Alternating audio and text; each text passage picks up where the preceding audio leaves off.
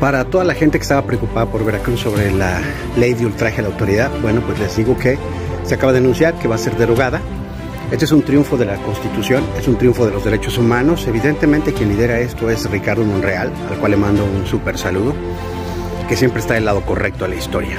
Y por supuesto, también quiero saludar a todos aquellos que me llamaron por teléfono, que me querían eh, hacer sentir mal, que me pidieron que dejara yo de apoyar esta lucha por la democracia, por los derechos humanos, que me dijeron que no estuviera yo apoyando a Ricardo Monreal en esta cuestión que me parece súper importante para Veracruz y también a todos aquellos que estaban diciendo sus idioteces de que, que se vaya de Veracruz, que quiere aquí. Miren, pinches nuevos cabrones.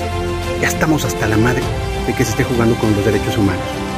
Hoy este triunfo, la verdad, me llena de mucha alegría, mucho regocijo y pues hay más que hacer en este país, pero siempre del lado correcto de la historia. Felicidades a los veracruzanos. Esa ley se va.